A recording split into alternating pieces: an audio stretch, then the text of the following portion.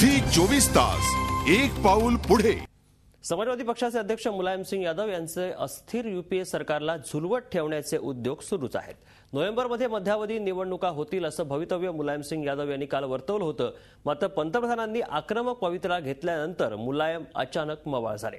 तर दुसरीकडे अल्पमतात असलेल्या सरकारचा मनमोहन सिंग यांनी तात्काळ राजीनामा द्यावा अशी मागणी तृणमूल काँग्रेसनं केली आहे.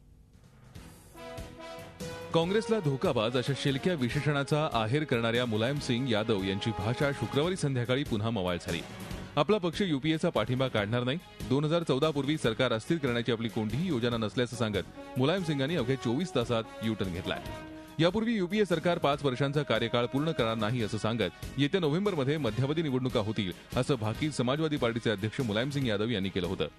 मुलायम यांच्या टोलेबाजीनंतर पंतप्रधान मनमोहन सिंग यांनी ही आक्रमक भूमिका घेतली. समाजवादी पक्षाचा काही भरवसा नाही. मुलायम सिंग यादव यांनी पाठिंबा काढला तरी आपले सरकार पाच वर्षांचा कार्यकाळ पूर्ण करेल असा दावा पंतप्रधानांनी केला.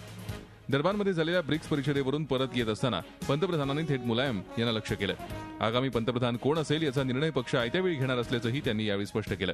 त्यांच्या या स्पष्टीकरणामुळे दोन हजार चौदामध्येही मनमोहन सिंग पंतप्रधान होण्यास उत्सुक असल्याचे संकेत मिळाले मुलायमसिंग यादव यांच्या सतत बदलणारा मूड आणि राजकीय पातळीवर अचानक आक्रमक झालेले पंतप्रधान यामुळे युपीए आणि मुलायम यांच्यातली सुंदोपोसुंदी आणखी वाढणार हे स्पष्ट आहे.